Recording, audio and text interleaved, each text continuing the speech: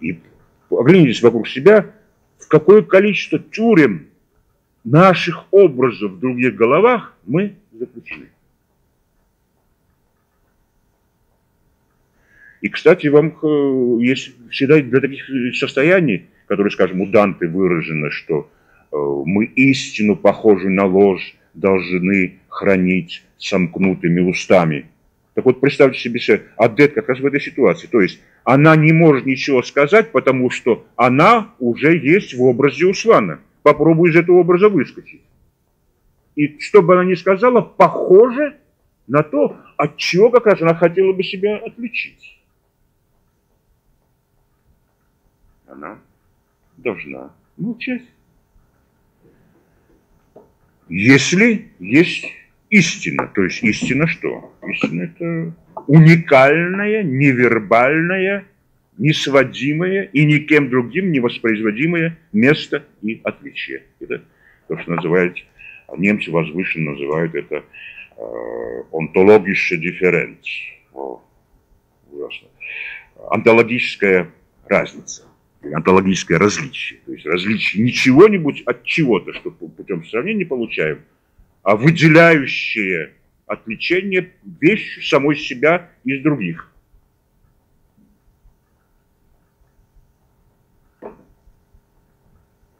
ну, скажем, есть что-то, что чувствуете только вы, вот вы, сидящие передо мной. И никто никогда этого не почувствует. И если захочет, он должен у вас это взять, если сможет, конечно. Ну, например, как э, поэты всегда рассуждали, ну, вот, то, что видит орел, видит только он. И то, что видит мышь, видит только одна. Хотя и у орла, и у мыши, это блейковское рассуждение. Потом в другой связи вам целиком, э, если найду э, русский. Так вот, хотя, повторяю, обратите внимание здесь на мысль, чтобы она не проскочила в силу своей абсолютной простоты. Но здесь простота, скрывающая глубину. Блейк говорит так, но, «Ну, но ведь у мыши и э, орла одни и те же органы чувств. Глаза, нюх и так далее, и так далее. А видят они нечто, что видит только мышь.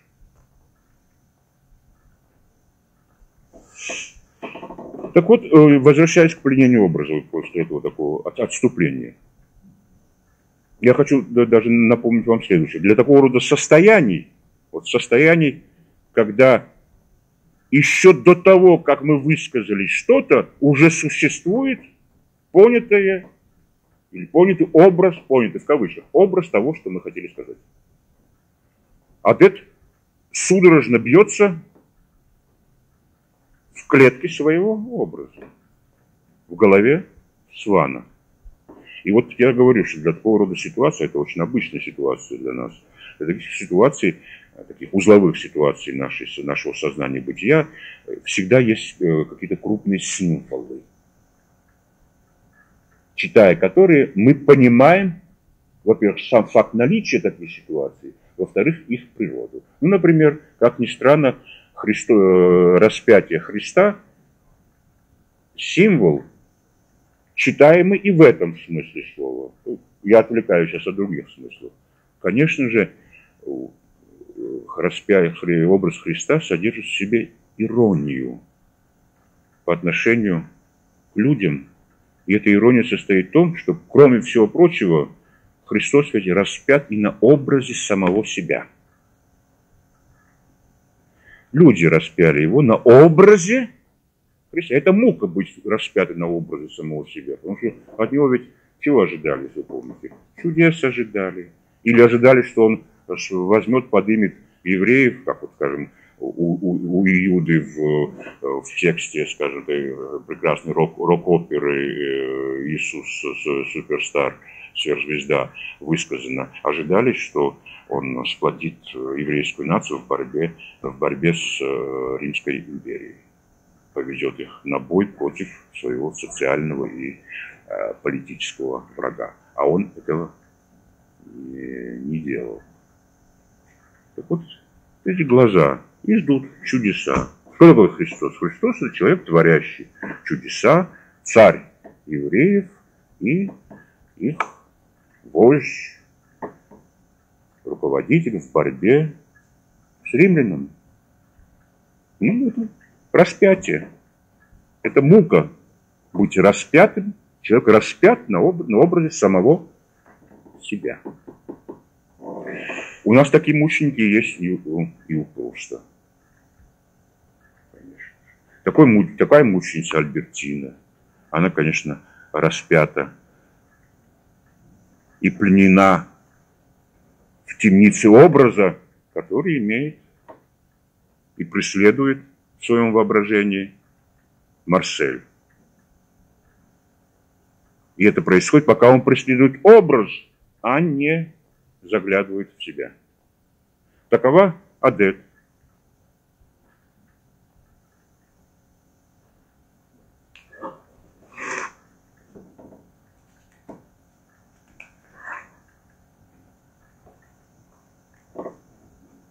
И беда в том, понимаете, что таков часто и весь окружающий мир перед, перед нами, который тоже мы содержим в темнице своего образа, и он пикнуть просто не осмеливается перед этим образом. Как выскочить из того, что другие, и из того, какой образ другие создали о тебе. И почему? Почему это так, такая, почему эта ситуация является столь э, такой существенной человеческой ситуацией? Да, по одной простой причине. Я вам приводил уже этот афоризм э, Пруста, где один из таких прекрасных, э, плавных и длинных пассажей, занимающих иногда страницу, иногда полторы страницы, один и тот же пассаж занимает у Пруста. Один из таких пассажей вдруг, вдруг кончается таким заявлением – car personne ne veut livrer son âme. Ибо никто, ну вот здесь и грузинского перевода не получится, и русского не получится. Livrer son âme, это нужно перевод получается по тем словам, какие у нас есть, такой, никто не, не может отдать свою душу. Но здесь не имеется в виду отдать душу, а имеется в виду Э, выдать ее на, э, в распоряжение и на обозрение кого-то. Никто не выдает на обозрение свою душу. Это пометьте себе в связи с проблемой понимания другого человека. Почему?